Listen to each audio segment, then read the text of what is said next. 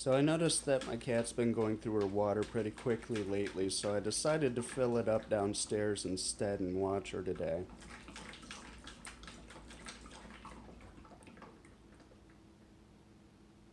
This is why you can't have nice things.